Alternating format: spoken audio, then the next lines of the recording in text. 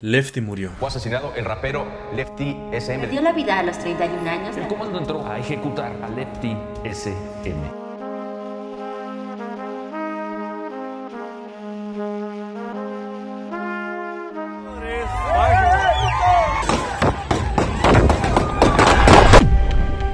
Teorías conspirativas ni nada, la Fiscalía de Jalisco dijo que tres personas se metieron a su casa en un fraccionamiento de Zapopan, Jalisco. Le dispararon la pierna y el abdomen y después lo pudieron llevar al hospital, pero falleció. Las primeras publicaciones decían que fue un asalto, pero su esposa dijo que no sabía por qué decían esto. No sé por qué ponen que fue asalto cuando en realidad te fueron a matar, pinche gente envidiosa. Tú nunca abriste la puerta. Ellos se fueron a meter hasta nuestro cuarto en la segunda planta y sacarnos a empujones.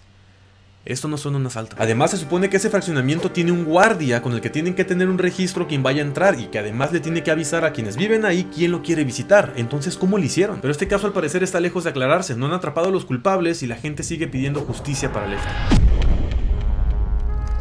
Lefty era un rapero de San Luis Río Colorado con canciones que se volvieron himnos, como la de Por mi México. Después la volvió remix colaborando con Santa Fe Clan, con Secan, con Darius y con otros raperos de las grandes ligas, porque hasta allá había llegado ya, hasta las grandes ligas. Hasta tiene colaboraciones con otros cantantes de música banda como el Commander. Le quedó bien chile, ¿eh? Es de esos artistas que aunque no los conozcas, lo más seguro es que hayas escuchado algunas de sus canciones, aunque no te hayas dado cuenta. Traía una calidad bien perra y en todas sus rolas ponían alto a San Luis Río Colorado. Soy de Sonora del Río Colorado. San Luis Sonora, Río Colorado.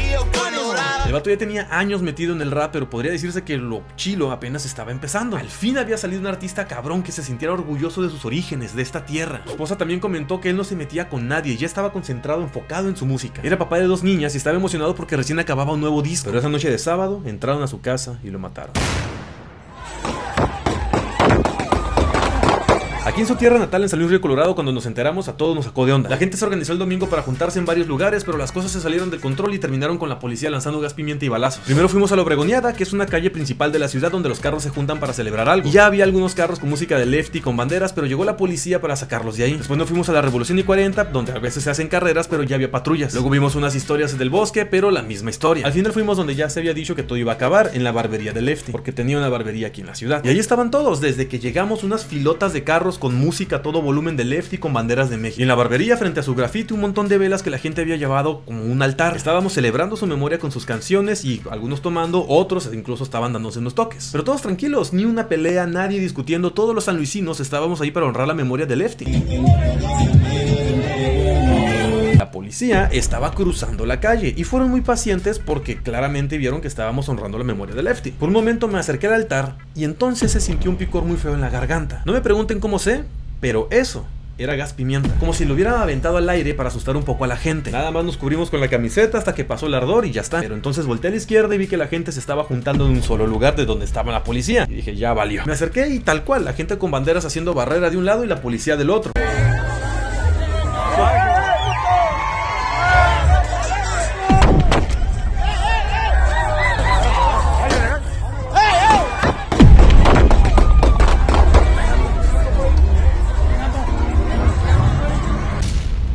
La versión oficial que manejan las autoridades, la policía comenzó a acercarse solo cuando las personas le empezaron a tirar piedras. Según lo que yo recuerdo, se hicieron de insultos y entonces la policía entró para sacar a las personas. Hubo jalones, insultos, empujones y pues cuando agarraban a alguien se sacudía para intentar liberarse y todos se caían. Entonces las personas comenzaron a aventarle cervezas a la policía y ahí fue donde si de por sí ya no había control, pues todo fue aún mucho peor porque comenzaron a soltar balazos al aire, los policías, y fue un desastre. También rociaron gas pimienta y aunque no debe había niños en el lugar.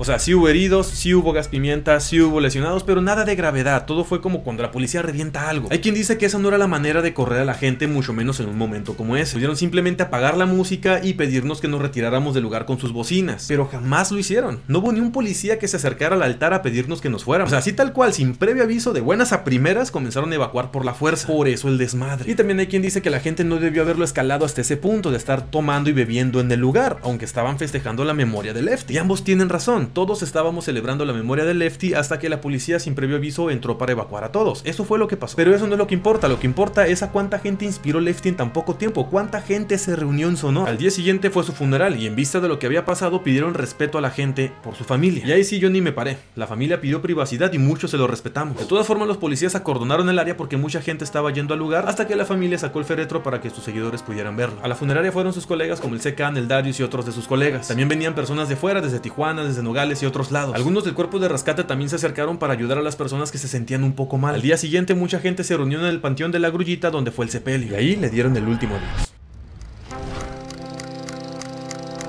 31 años tenía. Se hacía llamar Lefty, pero se llamaba Juan Carlos Sauceda, era padre de familia, cuidaba a los suyos, tenía su negocio en la ciudad, estaba enfocado en su música y sobre todo representaba con orgullo a San Luis Río Colorado. Se ganó el cariño de un chingo de gente y no nada más de lo que lo conocían, sino de cualquiera que escuchaba sus canciones. Al fin había salido alguien chingón del rancho a presumirlo, güey. Ese vato iba a llegar lejos y más, más lejos de lo que ya había llegado. Artistas como él se vuelven inmortales porque sus rolas se vuelven clásicos y los clásicos nunca mueren. Y ahora todos nos unimos pidiendo justicia para Lefty. Nuestros respetos a sus familiares y amigos, pero sobre todo a su leyenda. Nací en San Luis, Río Colorado, Sonora. Soy mexicano, esa es mi bandera. Soy de Sonora del Río Colorado. Soy de Sonora y lo cargo bien bando. San Luis, Sonora.